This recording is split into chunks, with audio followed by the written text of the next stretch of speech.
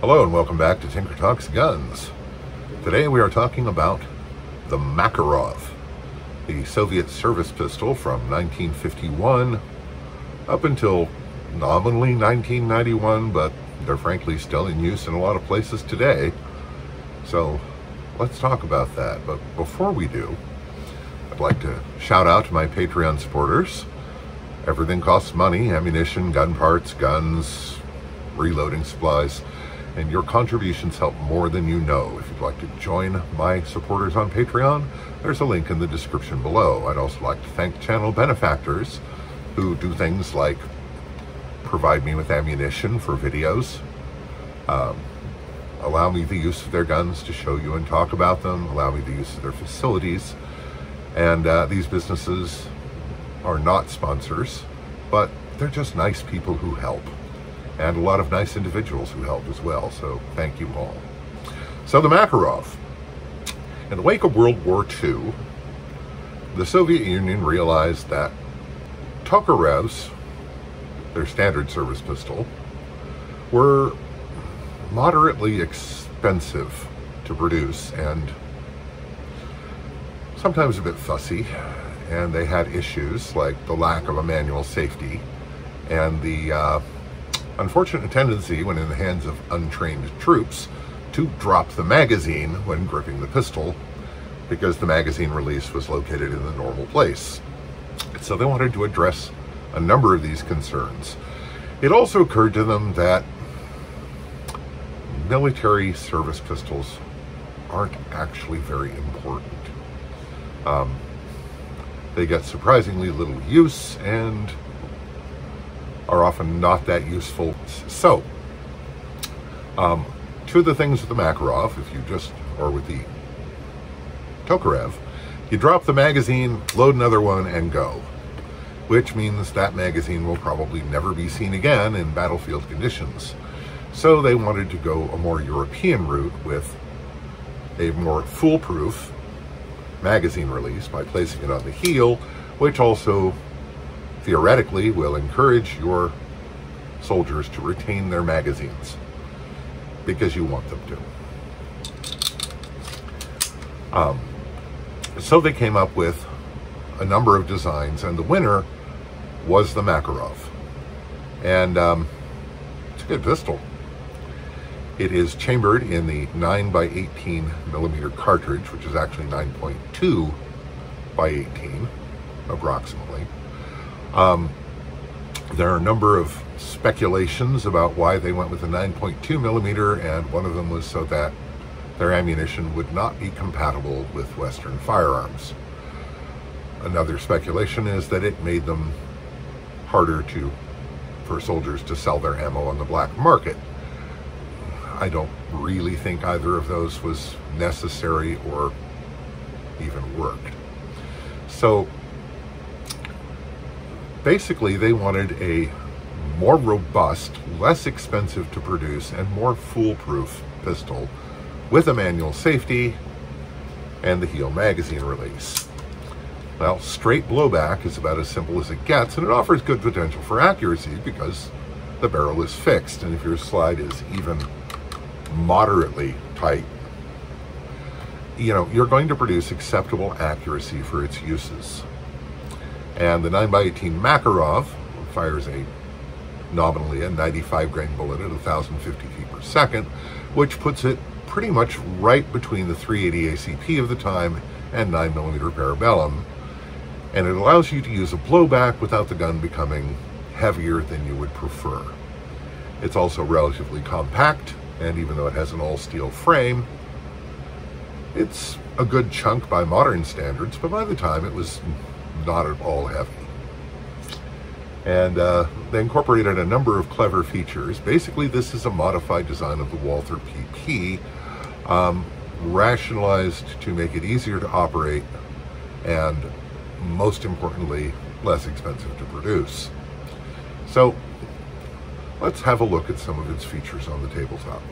The owner of this Makarov has the original issue style holster, and this is a Bulgarian Makarov. I don't know if this is different than the standard issue Soviet holster. but I suspect it's pretty close, if not exact.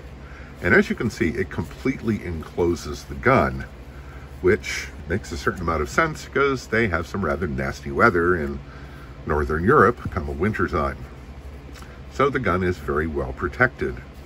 As you can see, there is a cleaning rod slash multi-tool, which is retained by the flap of the holster. It has this little gizmo here that I have no idea what it's for. Perhaps someone can inform me in the comments. So when you open the pistol, it's not necessarily that easy to fish out, especially if you're wearing winter gloves. So this handy tab is in place and you pull that and it lifts the gun to where you can grip it more easily. The holster contains not only this cunning lifting strap, but it also has a spare magazine, which holds eight rounds, so the capacity is eight plus one. And this, again, another multi-tool. So basically, the soldier in the field can take the gun completely apart in service of losing parts. Because that's what you want to do. So, eject the magazine, you have the heel magazine release. It's not the fastest, but it is pretty foolproof, and soldiers can be fools. And again, it encourages you to retain the magazine and save money and maybe be able to use it again. The controls are relatively simple. There is, of course, a hammer, which is cocked when the gun fires, or it can be cocked by the trigger, double action. But it's commendably smooth in this example. And I have to say, I have handled a lot of Makarovs, and while the triggers are never light, I've never handled one where it was actually awful. Just long and heavy, as you kind of want a double action first shot to be. The sights are acceptable. Square notch rear, little post front, they're not obtrusive and they are big enough to be useful. Not much by modern standards, but for a service pistol in 1951, they're actually pretty good. Now, the gun has a hammer drop safety. So when you charge the pistol, chambering around, push the safety up, and it drops the hammer to a safe position, disables the trigger, uh, doesn't allow you to cock the hammer or operate the slide. And yet, contrary to most European pistols, they very sensibly have the off safe position down. So it's very easy to sweep that down with your thumb and move right into a firing grip. It has a slide lock. It does lock open on empty. And the slide lock, rather cunningly, also incorporates the ejector, which makes it quite a bit simpler to manufacture. Uh, this has a thumb shelf. I don't know if that was standard on issued pistols or if it's something that was put on for import to the U.S. because Gun Control Act of 1968's point system. Who knows? One of you does, I would reckon, and can probably tell me in the comments. So please do that. And uh, I, I have neglected Makarovs because um, it used to be they ate my hand with the slide. And that's unpleasant, so I eschewed them. Uh, now I find that it doesn't, which is rather nice. Opens up a whole new bunch of guns that I don't need that I can now delve into. Um, Takedown is basically identical to the Walther PP. Remove the magazine, pull down the trigger guard and push it to the side. Make sure the safety's off. Pull the slide to the rear and lift it off. And you are field stripped for maintenance. And here you can see the ejector attached to the stamped sheet metal slide release very clever. It's a good addition to the gun. Makes a lot of sense. Spring is concentric around the barrel. And uh, It's all rather made to be rather simple and easy to produce. And I'm saying rather far too many times. I'd rather not do that. Putting it back together is very simple. Just put the slide on all the way on. Drop the slide, let the trigger guard go back. And this extension on the top of the trigger guard prevents the slide from going back far enough to lift it off the back of the gun. Pretty simple. Uh, the grip is pretty ergonomic and comfortable. And recoil is manageable. Um, some people find them a little snappy in 9x18, but um, it doesn't bother me because I'm a gorilla. And uh, overall, while the finish varies, typically these are good quality handguns.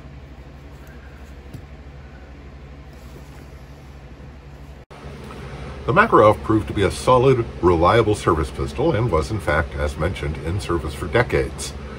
And, um, you know, there isn't really a good reason to replace it, but the world is moving on, technology is moving on, and 9x19 millimeter has come to dominate for very good reasons. It's a great service cartridge. And eventually, even Russia had to bow to the inevitable and switch to 9x19 millimeter. And now these remain a high quality pistol.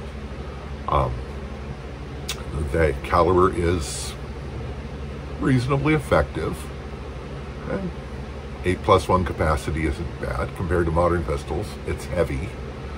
But really these days it's more of a curiosity than a practical firearm here in America because 9x18 isn't always easy to come by, and while there is jacketed hollow point ammunition available, um, you're probably going to have to order it online. But it's a good, solid pistol. I know a number of people who rely on these as their primary self-defense weapon. Even though it's somewhat heavy, it's relatively compact, and that's pretty easy to mitigate with a good gun belt and holster. So, we're likely to be seeing Makarovs around for quite a while yet. They made, Lord knows they made a bloody lot of them. And uh, it's a good gun. Now, the Russians' standard ammunition was a 95 grain bullet with a soft steel core.